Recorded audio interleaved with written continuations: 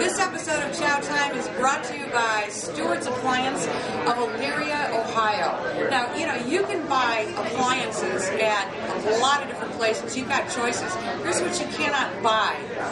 You cannot buy totally personal service, and you cannot buy the knowledge these people have. I mean, they know every bell and whistle on every appliance in the store, and that's on top of competitive prices. Uh, that's there's a reason why they've been very successful for more than 60 years. The Stewart's Appliance in Elyria, and, and you know what they always say? Whenever you come here to shop, there's always a Stewart in the store. So let's check it out. Mr. or Mrs. Stewart! There's two! There's two. Come on up here for just a second. They're going to want to steal the whole show. I just know it. This is Ed Stewart, ladies and gentlemen. Terry Stewart. I've gotten to know them very well over the last uh, 25, 30 years I've known you. Something like like that. that. Yeah. And man, you talk about personal service.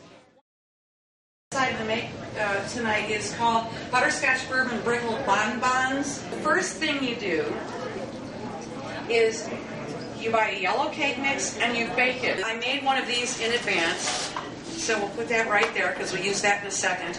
Now, in this pot, I'm going to melt one stick of butter. And to that melted butter, we're going to add one cup of powdered sugar. And the great news is you don't even have to sift it. Take it off the heat. We're going to add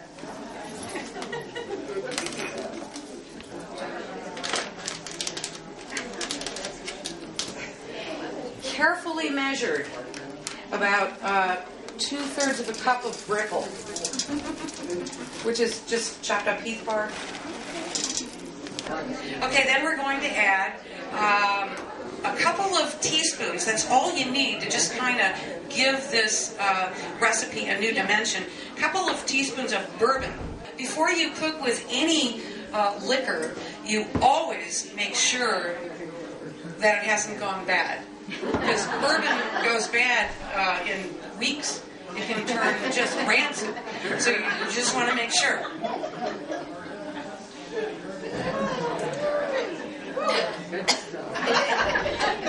Must be good. Perfect. Oh, gotta put it in here. Carefully measured, two teaspoons of bourbon. Here's where mistake cake comes in handy.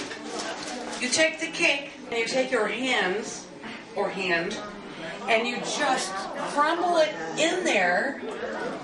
Can you picture me the day that I messed up this cake going, ah, what should I do? And, and I've been making this for many, many years. So you crumble the entire cake into there, one handed. And then you actually you take water with your hand,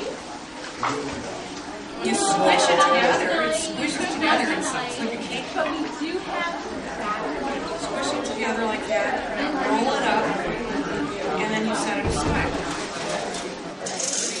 Now we're going to melt about a pound. To, to cover 50 of these, you're going to need about, about a pound of uh, butterscotch morsels, which is a package and a half.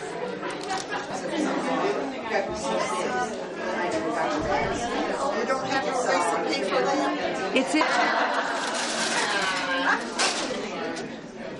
There it is. I I love to put them in these little, uh, you know, fluted papers. It looks really fancy. By the way, these freeze really well, So you can plan ahead on stuff. But uh, they're just, I just love the thought of making bonbons. It's kind of an old-fashioned thing, and it's different than chocolate. And um, if you don't believe me, they're really good. So if you want to come up here and try one, come on down. Thank you very much.